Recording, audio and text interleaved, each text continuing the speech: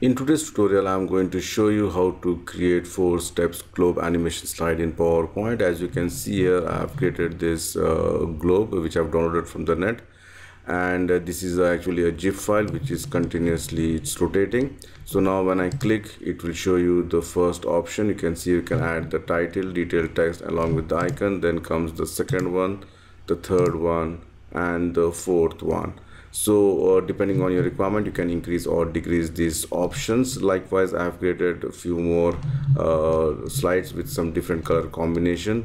The next one looks something like this. It is more smaller but a different color combination. And i have made this as a big uh, globe. And the other one is something like this.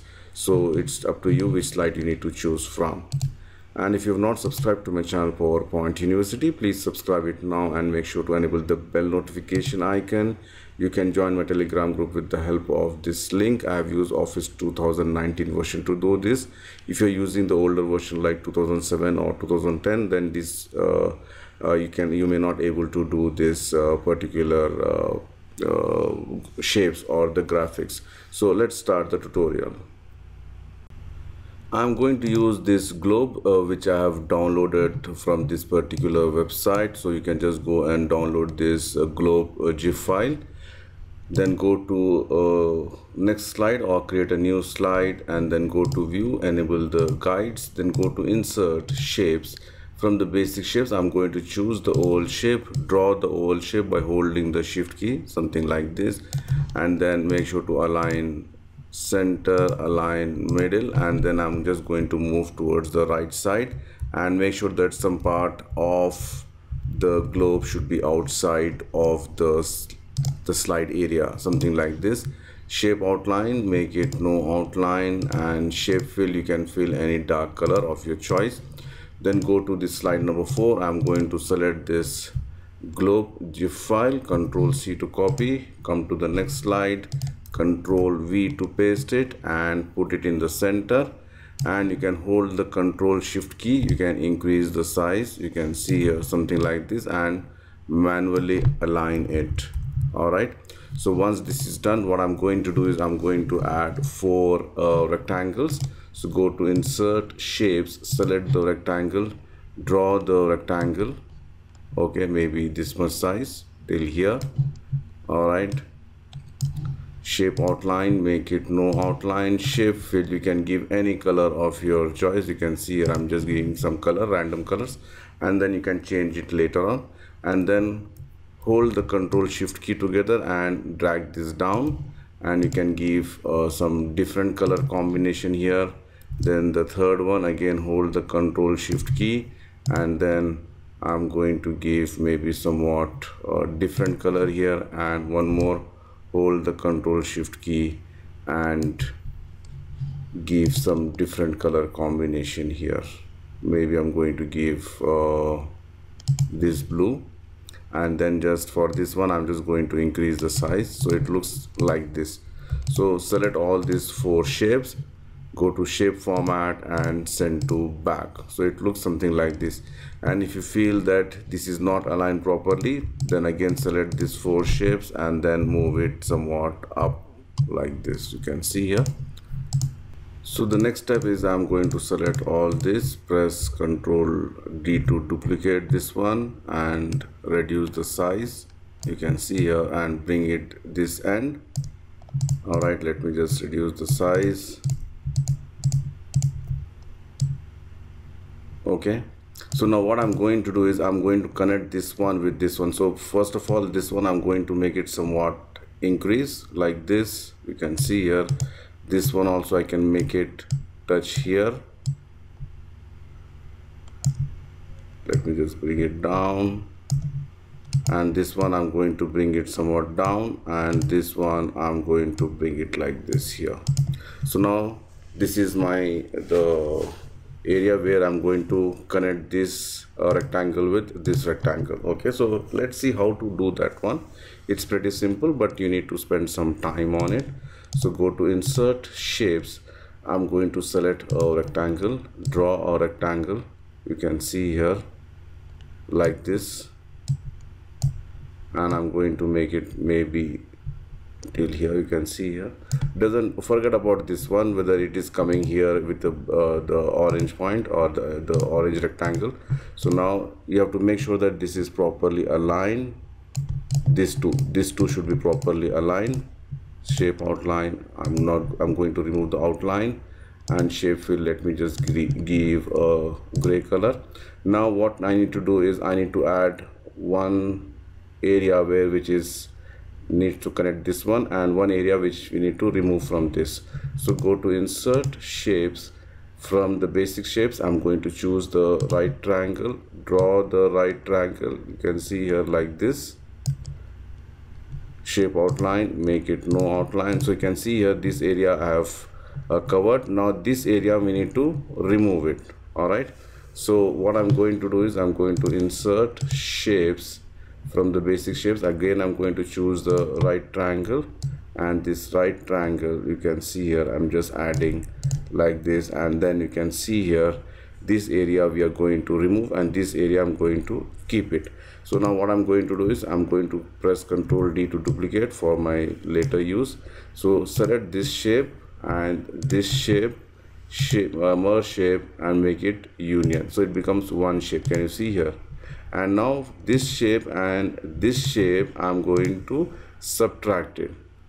So you end up getting a shape something like this. All right so it's pretty simple right? So the next thing is again go to insert shapes. Select the rectangle. Again this shape and this shape. I'm going to just you can see here. I'm going to merge it like this connect this one. Again give a light color so that you'll not get confused. Now again this part this part is okay. It's straightforward. No issues. I don't need to do anything. Only this part I need to add it. So again select this one. Press ctrl D.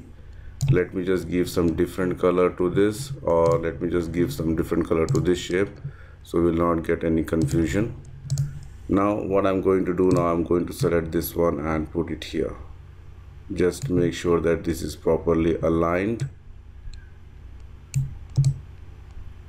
We need to properly align this one. It doesn't matter. It is gone somewhat here and there. There's not a problem. I'm going to reduce this. So you can see here this is perfectly aligned. Just make sure that it is properly aligned till this also. So now I'm going to select this shape and this shape. Shape format and union. So you can see there's some gap here so we need to reduce the gap here. This and this now union it. So you can see here we have done this also. Now the same thing we need to do it at the bottom. So go to insert shapes select the rectangle again draw the rectangle. So the the top is straight no problem with that and only we need to add one here. Shape outline no outline. Shape fill i'm going to give this color or somewhat darker color so that will not get uh, so you can see here like this. And then again i'm going to select this one press ctrl d to duplicate. And so here this side i cannot just copy it like this. So what we need to do it? We need to rotate it. You can see here flip vertical. All right again zoom in and just make sure that it is properly aligned.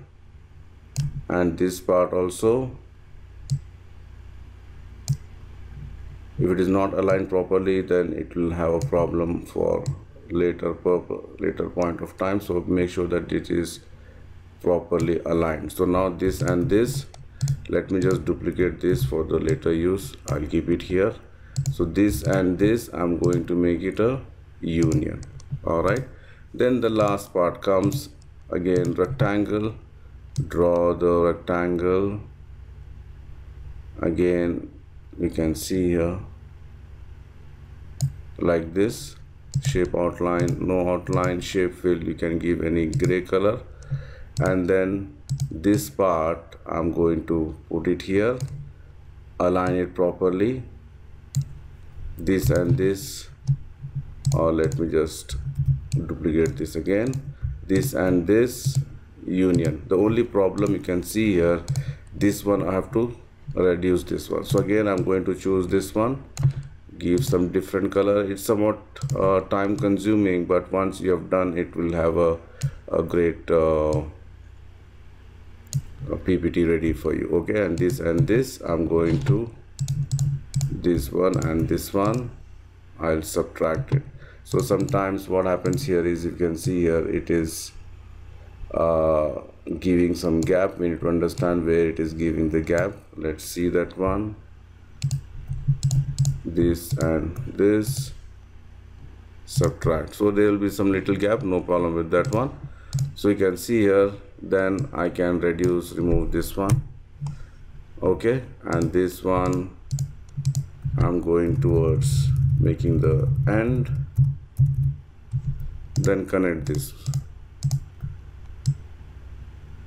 All right so you can see here we have done this part delete this we don't need this one.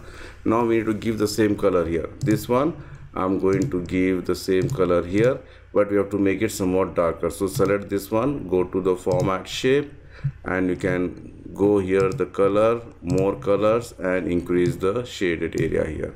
So it's more darker here again this color also i'm going to make it the same color. Again either you can go from here also. More fill colors and increase the size the shade area and this one also if you want to keep the same color it's up to you. Or if you want to change this color to some other color it's up to you. For example i would like to give maybe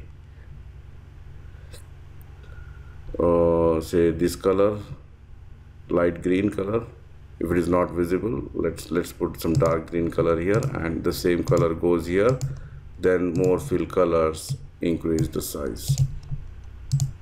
All right so you can see here we have done this shape and then go to insert shapes. Select one rectangle draw a rectangle here like this. All right so this rectangle should be depending on what the color you're going to choose for the background. For example if i'm going to choose the background this color all right so this color also should be the same color here. But anyway later on i'm going to change. Go to insert shapes. I'm going to select the oval shape. Draw the oval shape like this. Shape outline make it no outline. Shape fill make it black. Increase the transparency. Go to the effects. Soft edges. Increase the size. You can see here like this. Maybe you can increase the size further so that it should be visible and like this. So now what i'm going to do this rectangle i'm going to make it the same color as of the background. And this one first let me just send this to back. And both these shapes I'm going to send this to back. So it looks something like this you can see here. All right. So once this is done you can add the text to it so to add the text go to insert text box. You can just add the title first. Again make sure that it is uh, using some uh, the contrast colors so that the text will be visible. I'm going to make it white. Any font of your choice you can choose it. And if you want to increase the size you can increase it. So this the title comes. And then go to insert text box. You're going to add detail text here.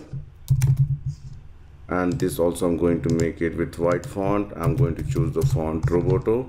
So now this one you can add the detail and the title goes here. All right so now i'm going to select both of this. Press ctrl g to group it ctrl d to duplicate. And you can just pull this down. Or you can hold the control shift key together and pull this down. So like this. All right and then if you're using the latest version of powerpoint you can simply uh, go to the icons and you can add the icons of your choice. So let me just choose any four icons for this particular slide. So you can see here I'm just going to choose one icon two three and maybe a bulb icon and click on insert this will insert the four icons here and if you want to reduce the size you can make it 0.6 also and then the graphic fill I'm going to choose it white. So now let me just put the bulb here the first one. This could be the second one. And this could be the last one. All right so like this you can uh, make the slide. And then if you like to add some basic animation because already the gif file is already animated so we are not not going to do anything on this one. So for this one i'm going to select this and this. I'm going to press ctrl g to group it. This one and this one group it. This again hold the shift key select this one and group it. This and this and i'm going to group it and then both of these uh, shapes I'm going to select and I'm going to put it the front and just say bring to front all right? Then this one also this and this I'm going to group it. This and this I'm going to group it. And this and this I'm going to group it. Okay so it looks something like this so now for this i'm going to use the animation. So go to the animations enable the animation pane. I'm going to close the format shape. This one you can add maybe a wipe effect. Wipe effect it should come from right like this or you can give some other uh, uh, options. Like for example if i just go and go to the more entrance effects i can give some stretch effect also and click ok stretch it should come from right. So it comes something like this. And once this is done i'm going to copy the same animation effect here. So click on the animation painter click it here. So it comes like this. You can see here and this should happen after previous. So now it's very easy. I'm going to select this shape click on the animation painter then again this one click on animation painter and click it here like this. I'm just going to do this part and then I'm going to do this part. Then one by one we need to do it. We cannot just do it together. So this one with this one. So you can see here now if I play the slide it looks something like this. Alright so this is how it comes. And for this also you can do the animation part later on. Maybe I can just select this one. Alright and I can make it fade okay? And this should come after previous. If I play again now.